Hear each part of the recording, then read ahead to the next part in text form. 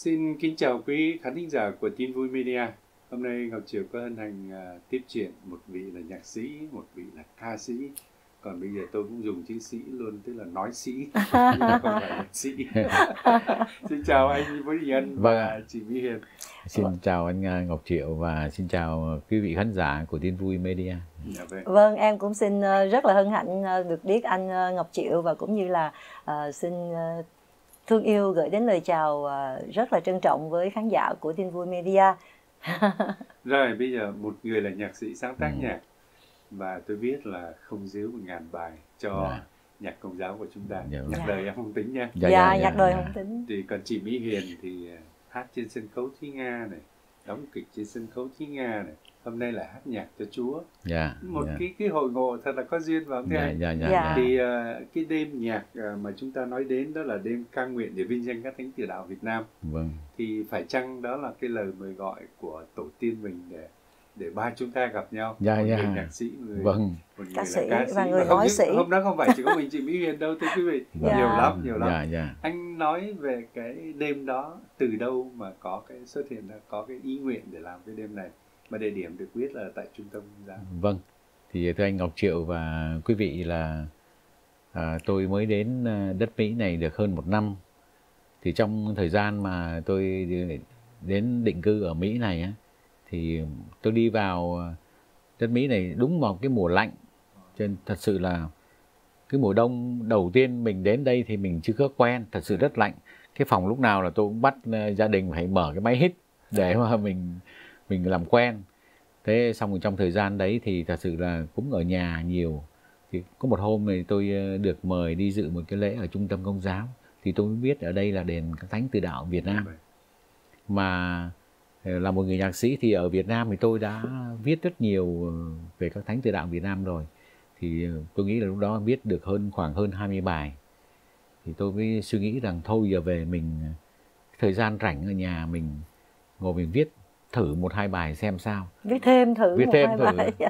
thì tôi mới lấy ừm, coi như mình đục lại mình coi trên mạng mình mới lấy các cái danh sách tiểu sử của các thánh và mình đọc thì tôi viết một hai thánh từ đạo thì tôi cảm thấy rằng rất là thú vị rồi từ đó thì đi là làm như mình được các thánh thôi thúc mình viết thánh này mà không viết thánh kia thì. Thì cũng cũng không không Đúng không được. các, các, thánh cũng vâng. biết biết nghĩa Dạ. tịnh. Dạ, dạ. cho nên là suốt cái tháng hè đó ok. tháng hè mà tôi không làm gì thôi tôi tập trung hết ờ, cho cái cái cái cái cái công việc này. Dạ vậy và tôi đã hoàn thành được ờ, coi như là chọn bộ 117 ờ, 117 117 bài tức là tức là mỗi vị thánh mỗi một vị thánh Dạ, là là có một một bài bài. riêng Hay dạ quá. vâng Em thì được tiếp chuyện Dạ. với anh anh Ân và em cũng nghe anh Ân kể về câu chuyện này và À. em thật là kinh ngạc và kinh hãi vô cùng tại vì một cái cái cái công trình thật là tuyệt tác thật là lớn lao của nhạc sĩ Vũ Đình Đình, Đình Ân đã gửi đến cho các thánh tử đạo Việt Nam của chúng ta và đặc biệt là các thánh tử đạo Việt Nam chứ mà chúng ta lại có tới 117 vị 17 anh vị hả? dạ. quá Bài- là tuyệt bài hát vời chung thì mình nghe nhiều rồi Dạ. Dạ. Riêng từng đạo. người dạ dạ đúng rồi Dạ. dạ, vâng nhưng mà riêng từng vị đó thì và Dạ. từng câu chuyện của mỗi Dạ. vị luôn anh viết mỗi một bài là một câu chuyện của Dạ. vị đó và lại theo em nói chút xíu nữa nha Dạ, vâng, lại theo cái cái ờ, bài hát lại theo cái âm hưởng của của người miền miền nào Từng của cái miền. vị thánh đó. Ồ. tuyệt vời lắm có nghĩa Dạ. tức là vị thánh nó nếu ở thuộc miền Bắc thì anh Dạ. sẽ sáng tác theo kiểu Vâng. Bắc. giọng Bắc, bác dạ, dạ, vâng. hát trèo dạ vâng À. thí dụ vậy dạ, thí dụ Dạ. vậy dạ. miền Nam thì anh viết Miền kiểu Nam, giọng dạ. Nam Ồ, hay à, miền miền Trung Huế thì anh viết kiểu Huế dạ như vậy kính thưa quý vị khán giả chút xíu nữa chị Mỹ Hiền sẽ trình bày một nhạc phẩm để chúng xem mình giữ bí mật Dạ. dạ dạ À, thưa anh, thưa anh như vậy thì Dạ. cái cái quá trình anh làm như vậy nếu anh nói hè thì tôi có thể mường tượng là hè năm trước hay là không phải năm nay năm Ồ, nay dạ năm nay năm thôi. nay thôi dạ vâng năm nay Wow. dạ như vậy là phải nói cái, cái cảm nhận sáng tác của anh nhạy và nhanh lắm và có lẽ cũng là cái sự phù trì của đấng từ đạo vâng dạ. Tôi nghĩ là đầu tiên là mình phải cầu nguyện. Dạ vâng. Vì khi đi học ờ, cha Kim Long thì tôi có- thể tự hào là mình là cái người học trò cuối cùng của cha đó. Ồ, vâng. cho nên cha thì cứ theo gương cha cha là viết một bài hát là cha đều cầu nguyện hết. Và đến với cha thì tôi học được rất là nhiều thứ kể cả học cả chữ đời và cả chữ đạo nữa Dạ. là rất là quý cho nên ờ, khi qua Mỹ này thì tôi đã vận dụng hết tất cả những cái gì mà mình đã học và ngài đã trao vốn liếng cho mình thì tôi tôi đã đã hoàn thành được cái ờ, cái bộ sưu tập 117 các thánh từ đạo. Dạ vâng. Thì nó cũng rất là khó cho mình là thí dụ như là các thánh tây thì viết sao? Dạ. đó các tây. Thì tôi lại phải ờ, coi mình phải mở lại mình coi các cái trang sử của các thánh tây rồi mình phải mở lại mình coi cái cái âm nhạc của tây như thế nào mình cũng viết để cho nó nó nó nó, nó có cái, cái sự hài hòa có anh một- anh đưa dạ, một ví dụ đi dạ. chúng em là những người dốt Dạ. sáng tác lắm em phải ví dụ mới Ủa anh nói về thánh Tây là sao em Tức là- trong mười trong Tức một là trăm mười đạo tại Việt Nam nhưng mà là Dạ vâng. Ồ, tức là trong 117 vị thánh đó thì có 11 vị thánh là Tây Ban Nha Tây Ban Nha. Ồ. và 10 vị thánh ơi. là Pháp Dạ. đó còn lại là của thánh từ đạo Việt Nam mình Ồ. thì những ờ, các vị thánh tây đó thì tôi lại vận dụng ờ, viết ờ, một số cái cái tiết điệu và cái âm điệu nó mang mang tính chất là tây phương ơi. Dạ. hy vọng rằng cái đêm mà diễn ca nguyện đó thì tôi có giao cho hai hai ca sĩ để sẽ hát hai bài thánh tây đó Dạ. thứ nhất là anh thứ nhất là ca sĩ Trần Ngọc và thứ hai là ca sĩ Minh Khoa Ừ. vâng, Dạ. sẽ, sẽ hát hai cái bài của các thánh tây Minh đó. Khoa Dạ. và Trần Ngọc thì cũng là những cộng tác viên Dạ, vâng. thời gian khá dài với lại tin vui media. Dạ dạ dạ và dạ. các anh đã khẳng định cái tài năng của mình. Dạ dạ. Hát cũng như Vâng. là khả năng về, Dạ. về âm nhạc. Quý quá và đặc biệt là các thánh từ đạo Việt Nam thì chỉ có một thánh nữ thôi. Dạ vậy. Đó là thánh Lê Thị Thành. Đây thì, thì anh cái bài thành- vâng Ane Lê Thị Thành thì cái bài thánh đó cái bài thánh nữ Ane Thị Thành đó thì được giao cho ca sĩ Mai Thiên Vân phụ trách. Dạ. Dạ. Còn còn ca sĩ Mỹ Huyền hát chắc thánh nam rồi. Thánh nữ có một người thôi mà. Thật sự mà. em thì ờ, anh ân nói. Thật sự phải nói Bữa đúng đó như thì- vậy này. dạ. Là khi mà khi mà tôi mời ca sĩ ờ, Mỹ Huyền với lại ờ, Mỹ Lan hát á thì thật sự là hai em nó sinh hoạt ở trong ca đoàn Xin Vâng mà tôi cũng sinh hoạt ở trong đó nữa. Thì tôi mời hai em nó hát thì thật sự là khi giao bài cho các em thì tôi nghĩ là không biết là đưa cái bài này Huyền có hát được hay không đưa cái bài này Lan có hát được hay không. Nhưng mà thật sự phải nói đúng là làm như nó có một cái sự soi sáng của các thánh. Đưa cái bài ờ, cho Mỹ Huyền hát là mình "Ôi, anh Ân ơi cái bài miền Trung này là em hát rất là hợp. À, rồi Mỹ Lan thì nói là anh Ân đưa cho em cái bài này hát miền Nam em hát rất là hợp với cái giọng của em. Đó thì thật sự là là là khi mà giao cái bài cho các em á, thì mình không có cái sự lựa chọn trước. Ừ. nhưng mà hình như có một cái ngẫu sự soi nhiên mà nó lại ngẫu nhiên, rất là là trùng hợp dạ. trùng hợp dạ ngẫu nhiên và rất là trùng em hợp em thì không nghĩ như vậy Họ Triệu thì không nghĩ như vậy Dạ. chị Mỹ Hiền dạ. bởi vì cái cái sáng tác của anh tức là cái melody nó nằm trong người của anh rồi dạ. Ở Mỹ Lan thì anh đâu lạ Mỹ Huyền anh cũng không có lạ đúng không không, không không anh Em- không em- em không hiểu sao, À, đây không, nè, không cái câu- không để để để anh nói ok ok tại vì thật sự như vậy nè mới quen ờ, Mỹ Huyền có mấy tháng nay thôi. Trong một cái dịp mà tình cờ quen cô và cô nói rằng bây giờ cái ngày thứ hai và ngày thứ ba Dạ vậy. là cái ca đoàn xin vâng của tụi em nó không có người đánh nhịp. Ok. anh ca trưởng thì anh bận đi ờ, bên nhà thờ kiến. đi nhà thờ kiến cho nên anh không có bây giờ không ai đánh nhịp mà giờ em không biết đánh nhịp. À, bây giờ ca đoàn cứ bắt em lên em phải điều khiển thôi giờ em làm quen anh ngân rồi anh ngân xuống giúp cho em cái chuyện đánh nhịp cho ca đoàn mới quen mỹ lan đây thôi chứ còn chưa biết là cô trước cô đi hát ở đâu không biết tại vì chị Mỹ Lan là đoàn trưởng của ca đoàn của em Rồi. Dạ. rồi khi vào cái đoàn xin, vâng á thì mình đi vào xin vâng mình sinh hoạt thì mới quen được mỹ huyền cho nên thật sự cũng chỉ biết là cô hát ở trong cái đoàn đấy không biết cô là ca sĩ mà cũng không biết cô là hát cái giọng điệu như thế nào hết thật sự đó là như vậy đó là một cái cái ơn trên và cái sự soi sáng như vậy dạ. Nó nói thật với anh hồi xưa Triệu coi TV coi những cái show của Mỹ Hiền làm đó dạ. Mái tóc dài ôm cái cây guitar Dạ. dạ. Dạ. từ từ đó nhớ Dạ, hoài dạ, cái, dạ, cái, dạ. cái, cái dạ đó. cảm ơn Dạ. chị Ờ, thực sự thì mỗi người có một cái dấu ấn Dạ. mà xuất hiện trước công chúng. Thôi thì vâng. thôi mình cứ nói cái duyên đi Dạ, dạ, để nói dạ. cho nó dễ nghe. Dạ. Và anh thì anh tin là các thánh từ đạo dắt dạ. để vâng. có cái người. À, người ta nói nhiều khi là người chọn bài rồi bài hay chọn người dạ Dạ, vâng. dạ. Mà thôi giờ cái này là bài chọn người đó. Nói tới nói lui bây giờ chị Như Hiền trình bày cái nhạc phẩm của mình đi. Ờ, nhà phẩm của anh ân minh họa cho những sáng tác của anh để mình nói chuyện tiếp nào. Dạ vâng. Thì ờ, khi mà anh ân gọi em với chị mỹ lan đến thì anh ân nói là bây giờ ờ, mỹ huyền ơi anh có một bài ờ, giọng huế và một bài giọng nam. Thì em nghĩ sao nó ô giọng huế đưa em giọng nam đưa chị mỹ lan. Ừ. nhưng mà em biết là em cũng hát được giọng nam và chị mỹ lan cũng hát được giọng Em huế. Rồi. nhưng mà em em dành trước em nói thôi đưa giọng huế cho em đi chị mỹ lan hát giọng nam đi. Thì ờ, khi mà thử giọng thì em thấy rất là hợp. Ừ. và anh em đã đi đến cái quyết định là em sẽ phụ trách cái bài Cái bài ờ, âm hưởng huế này. Ok. Nói Bây về Thánh, thứ nhất ờ, là anh giới thiệu một chút ít về cái bài này. Dạ. Và cái cảm tác của anh như thế nào về Dạ. thánh thánh nào thánh Francisco Nguyễn Văn Trung. À, Dạ. Thánh ờ, Francisco Nguyễn Văn Trung thánh Francisco là một cai đội ờ, trưởng của một cái đội quân của nhà vua Dạ vâng.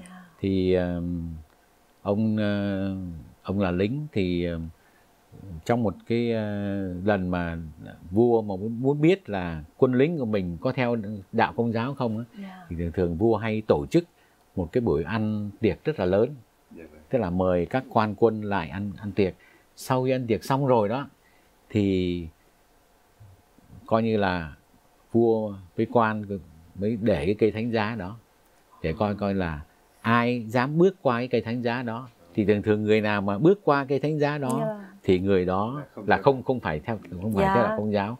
Còn người nào không bước qua thì người đó là theo đạo. là theo đạo. Thì ờ, thánh Francisco Nguyễn Văn Trung là một trong những người là can đảm đã tuyên xưng đức tin mình là không có bước qua thánh giá đó và chúng ta được biết rằng à, để mà mà mà coi như là mình tuyên xưng cái niềm tin đó thì chắc chắn rằng à, các thánh từ đạo Việt Nam mình không phải là ờ, riêng thánh Francisco Nguyễn Văn Trung mà các thánh từ đạo Việt Nam của mình đã phải chịu các hình phạt rất là nặng nề. Cực hình nhé cực hình phải nói cực hình. Cầm tù rồi à, đánh đòn rồi à, tra tra tấn. rất là nhiều thứ. Đó thì à, trong đó thánh Francisco mình là nhiều lần khuyên rủ và không có ờ, vẫn giữ được vững đức tin thì cuối cùng là đã được ờ, ờ, vua chuẩn phê là, là chém đầu. Thì khi ra pháp trường mà chém đầu đó thì ông xin cái người đao phủ đó là lấy cái vôi á, là vẽ trên cái cổ của ông cây thánh giá và chém thì chém ngay chỗ đó. Đúng ngày dạ đúng ngay chỗ đó Dạ. vâng rất là là là, là anh dũng và can đảm. Dạ vâng. Và mình suy nghĩ mình đọc cái cái lại cái cái cái câu chuyện của ông thì mình cảm thấy rằng thật sự nếu mà mình ở trong hoàn cảnh đó thì không biết mình không có biết luôn mình á, mình em mình cũng không- có nghĩ như vậy à, đó dạ. anh. không biết là mình có em dám biết như vậy dám hay như không? vậy Dạ. không á, thiệt em À, không nếu biết. Rất can đảm, dạ, nhìn vâng. về con người thì rõ ràng là cái cái hình phạt đó nó quá khiếp đảm. Dạ dạ vâng. À, những cái tra tấn đó dạ. Thì nhưng mà với ơn trên ơn Dạ, chúa lúc đó dạ thì vâng. soi sáng thì ngài tôi phải nói là cái gương anh hùng từ đạo Dạ. nó là cái gương. Bởi vậy chúng ta mới có 117 vị. Dạ vâng. Em em thắc mắc là bây giờ mãi đến bây giờ thì mỗi một ngày cái cái nó bồi đắp thêm thì cái niềm tin của mình nó càng vững mạnh thêm. Đúng rồi. Và cái đức tin của mình nó đã truyền bá trên trên khắp thế giới rồi thì mới là vững mạnh nhất chứ. Còn cái thời đó là cũng mới quá hả anh dạ hả? đúng rồi. Mà các ngài lại À, can đảm cái, mà. cái bề dày của đức tin đó, Đó, ờ, nó bề không dày. đo nó không có đo bằng thời gian chị ồ dạ. Nó đo bằng cái cảm nhận. Dạ Ừ, dạ. nên đấy chị Hiền nhớ còn nhớ không? Chúa nói là nếu chúng ta có đức tin bằng hạt cải Cải, đúng chị rồi. thấy hạt cải nó lớn không? Dạ. nó có lớn không. Nó Là có đã thể rời được núi non rồi. Mà chỉ tiếc là đức tin chúng ta không tới. Dạ. Nó nó nó nằm ở cái chỗ đó. Dạ. cái niềm tin nó không đo bằng cái thời gian bởi vì nếu mà tính cho cái thời đi truyền Ờ. giáo ờ, của thời thiều trị thời Dạ. minh mạng dạ thì là mấy trăm năm trước nhưng dạ mà ngược lại đối với Chúa là đã bao nhiêu ngàn năm dạ dạ Đúng dạ, không dạ. chị? ờ em nghĩ đơn sơ cái em bề nghĩ dày nó đi như thế bề dày Dạ. mới là quan trọng cái cái đức tin nó được bồi đắp không bằng thời gian mà Dạ. nhiều khi có những người chúng ta thấy ngày nay nhá họ mới vào đạo thôi nhưng mà đức tin thật là vững mạnh. Dạ dạ dạ. mà nhiều khi mình phải học hỏi. Dạ dạ. Ra thầy cai ờ, dạ ông là cai đội. dạ vâng dạ. Nhưng mà cho em hỏi thêm là sao anh lại viết cái âm hưởng Huế vậy tại vì ông ông này thì ông Ông ở miền Trung. Dạ ở miền Trung. dạ ở dạ. miền Trung. Ok. Thì ờ, mình thì ờ, hồi đó là mình bị thuộc địa của của Pháp trên chia làm ba miền Bắc Trung Nam. Dạ vâng. À, rồi bây dạ. giờ hiểu rồi. Dạ. Biết hiểu rồi phải không? Dạ. Ừ. niềm tin giờ vững chưa. Dạ vâng rồi. Hát đi. giờ hát nha. Dạ. Vâng. Em xin gửi Rồi. đến bài hát của nhạc sĩ Vũ Đình Ân cho thánh Francisco Nguyễn Văn Trung cai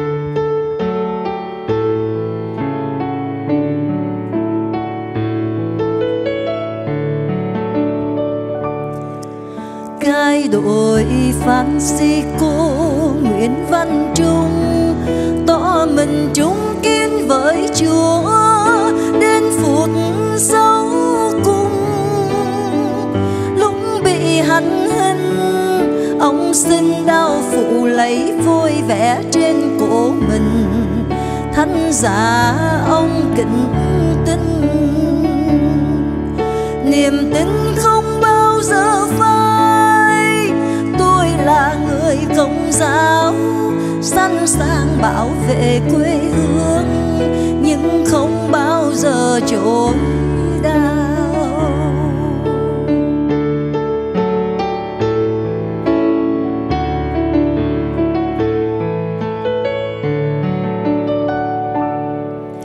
Cai đội Francisco Nguyễn Văn Trung lao tù gông mang đói khổ.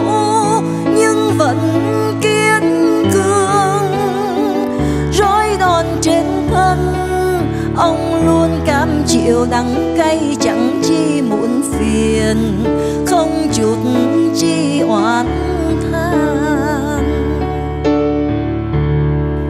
Niềm tin không bao giờ phai, tôi là người công giáo, sẵn sàng bảo vệ quê hương, nhưng không bao giờ chối đau niềm tin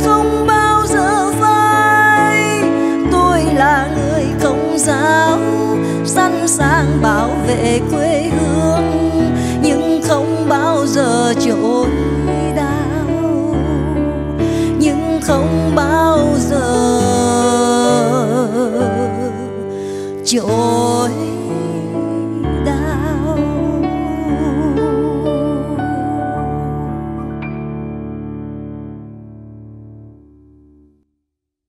À, kính thưa quý vị khán giả, vừa rồi à, chị Mỹ Huyền đã gửi đến quý vị nhạc phẩm để nói về một người cai đội đã sẵn sàng tử đao bởi vì anh là người công giáo và đó cũng là một câu hỏi, một thách thức, một challenge của chúng ta ngày nay.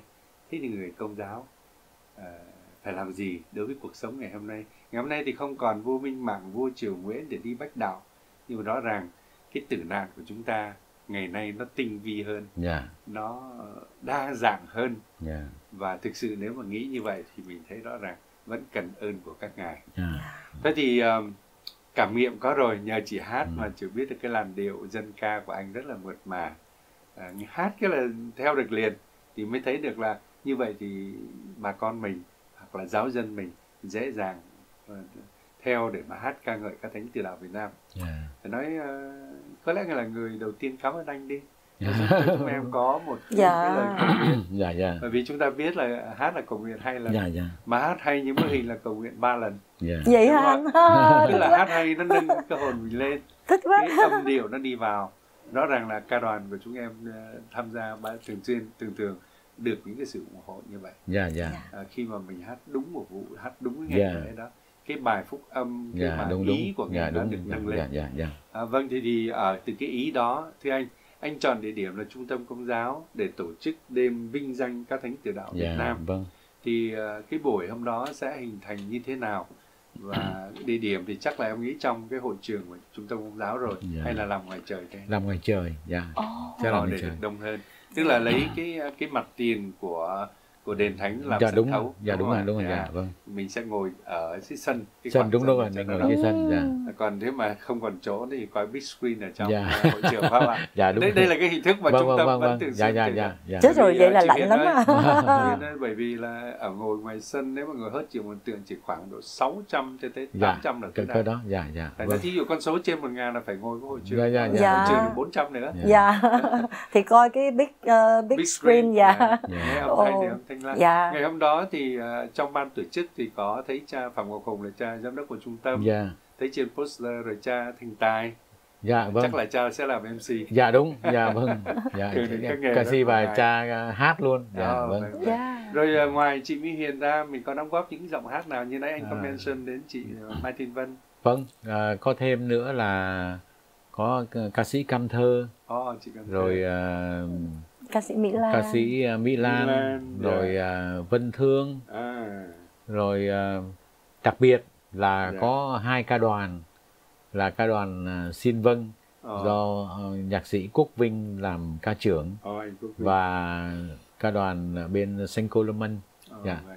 à, do Hợp anh Khải ờ, làm ca trưởng thì ờ, các ca đoàn đã tập hợp với nhau chung với nhau và một số anh chị em thân hữu ờ, của mình á mà mình quen biết ở bên Mỹ này thì biết làm chương trình thì anh chị em đến đã cùng tập hát chung. Thì trước ờ, khi khai mạc thì chúng ta sẽ có hai bài hợp sướng rất là hoành tráng lớn. Đó là bài ừm, chính nhạc oai hùng à, của thầy Hải Linh. Rồi bài anh hùng ờ, từ đạo Việt Nam của cha Kim Long. À, sau hai bài đó thì chúng ta sẽ được ờ, thưởng thức các giọng ca của các ờ, ca sĩ khách mời. Dạ. À, và chúng ta còn được xem à, các em à, trẻ sinh viên kể chuyện về các thánh. Rồi chúng ta được xem à, thêm các em thiếu nhi à, diễn à, tả về chân dung các thánh. Các em thiếu nhi sẽ đóng à, các vai các thánh để mà mà, mà kể chuyện Thế là cái hoạt cảnh diễn nguyện lắm. vâng Yeah. dạ.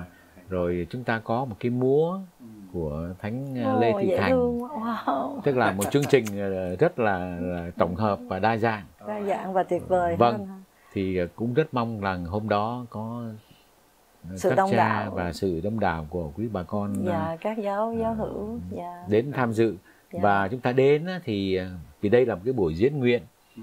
à, chúng ta tôn vinh các thánh tử đạo Việt Nam không có bắn vé không có Dạ. sổ số không có Dạ. từ thiện không có quyên Dạ. góp gì cả dạ vâng chỉ dạ. mong rằng mọi người đến và chúng ta có dịp để ôn lại ôn lại ờ, suy niệm lại, suy niệm lại về vâng, các thánh tử đạo thánh tử đạo và chúng ta biết rằng ngày xưa các thánh đã hy sinh như thế nào để hôm nay chúng ta còn có đức tin để mà chúng ta sống đạo Dạ. Phần âm thanh và ánh sáng thì hôm nay anh nhờ ai phụ trách? à, hôm họp ban tổ chức thì à, có nhờ anh anh Thuận Anh, anh Thuận. anh Thuận nghe anh Thuận và tại vì à, thật sự tôi mới qua đây cho nên tôi Ok, không, như dạ, vậy thì không, có không người hiểu lo dạ, có người lo vâng âm Vâng. thanh ánh sáng dạ vâng và có ban nhạc ờ, đánh sống dạ, Ok, xong- đánh anh Dạ, trước dạ, trước dạ. trước khi vô chương trình mình có thánh lễ không anh không À, cái này không chỉ có. có Dạ, đêm này diễn đêm thôi và dạ. bắt đầu đêm diễn nguyện này thì bắt đầu vào lúc 6 giờ rưỡi ờ, chiều dạ vâng chị- và bắt đầu và Thời gian là bắt đầu 6 giờ rưỡi. Anh Chiều- chỉ chiều, chủ thì dạ. mấy tiếng sau chắc khoảng chương cỡ chừng 2 tiếng đồng hồ là trình? xong Ồ, dạ vâng không, không, dạ. không dài lắm Vâng, chị dạ. Huyền. Dạ. Không dài lắm. Dạ. Dạ.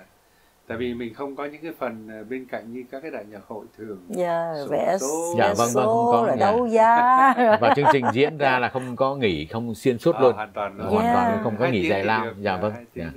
Nghỉ Ok. giải lao dạ Em nghĩ thì với kinh nghiệm của các ca đoàn cũng như kinh nghiệm tổ chức của cha Phạm Ngọc Dạ. Hùng, rồi cha Thành Tài nữa vâng thì hy vọng là chương trình sẽ rất là dạ êm xuôi và thành công thế vâng anh. vâng Dạ. Đó là dạ cái, cái ý nghĩa năm nay đặc biệt. dạ Anh ờ, anh vinh danh các thánh tử đạo của Dạ. Việt Nam của mình Vâng. 117 vị. thật sự nói đúng là khi ờ, lần đầu tiên đến ờ, gặp cha Hùng á Dạ thật vâng. sự tôi cũng rất là ngại Ờ, vì mình mới qua đây nhưng mà vì yêu mến các thánh từ đạo quá và mình mình có được cái cái tài liệu đó rất là quý thì khi trình bày thật sự cha Hùng cũng chẳng biết ừ, tôi là ai cả. Dạ. dạ. Ngài ok liền gật đầu ngài làm liền. Dạ. Và chính cái sự thôi thúc đó mà mình cảm thấy rằng ngài ờ, đã đã coi như là bỏ hết sức ờ, rồi tâm huyết để mà làm cái đêm đó. Vâng. cộng với cái sự cộng tác ờ, của anh Kiệt là Là chủ tịch chủ tịch ờ, hội đồng Ừ. chủ tịch chủ tịch của cộng đồng Kiệt, dạ à, vâng anh chủ tịch là manager của bên uh, God Shepherd. dạ vâng Cho giáo phận của. Vâng. vậy hả rồi wow. các anh chị em ở trong ờ, ban điều hành ờ, của trung tâm nữa cũng ra và thật sự là các ca đoàn đến tập hát là được đón tiếp rất là nồng hậu và thấy rằng rất là trân trọng Dạ vâng. chính cái điều đó là là cho tôi cảm thấy một cái niềm ờ, rất là hạnh phúc cả Dạ. khi mà bắt đầu mà mình xây dựng để mình làm cái chương trình này. Dạ Ờ, thực sự thì các thánh tử đạo thì được được tôn vinh ở Orange County là đặc biệt đều Dạ. có những cái cuộc rước hàng năm dạ thì sau cái buổi của anh đó tới ngày Dạ. 26 sẽ là cái buổi rước đúng rồi dạ ở trên, vâng ờ, trên Christ Cathedral dạ ờ, nhà thờ chính tòa dạ dạ Dạ. nhưng mà mọi năm chỉ làm được đến thế thôi Dạ, chứ còn làm dạ. cái đêm nhạc này thì chưa dạ vâng thì Wow. đây là ờ, đêm Rồi, đầu tiên ờ, đấy anh sau dạ. đó khi mà bắt đầu trước vào thanh lễ thì hát Dạ. những cái bài của ờ, nhạc sĩ Hải Linh với nhạc sĩ Kim Vâng, Long như dạ, dạ, rồi dạ. chúng ta dạ, vẫn vâng. thường hát hàng dạ năm dạ đúng mà rồi thực dạ. sự những cái bài đó giờ nó trở thành những bất tử chị Mỹ dạ dạ dạ dạ đúng vâng rồi hát lên cái thấy là cái Dạ, hồn dân vâng. tộc nổi lên dạ và cái lòng Dạ, nổi lên dạ. Ok. thì um, ờ, mọi người thì đã nghe đến cái chương trình này dạ ờ, đã được nói nói ở trên hiệp thông dạ dạ rồi các nhà thờ cũng đều có có có lan báo để cho Dạ, biết dạ, cái vâng. đêm nhạc này hy vọng là đêm đó anh anh sẽ không còn có chỗ ờ, chỗ dạ ngồi nữa vâng chỉ À, rất mong là vâng đó. dạ.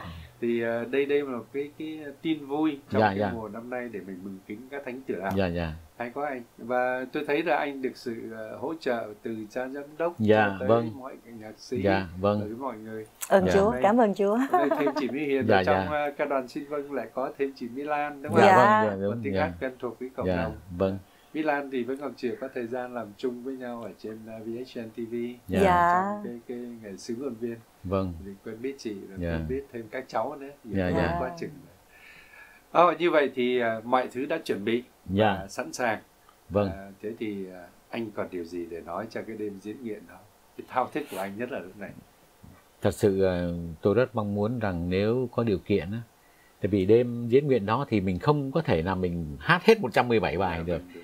Tôi chỉ có lựa một số bài thôi rất ít thôi và mỗi ca sĩ chỉ hát một bài thôi chứ không hát nhiều.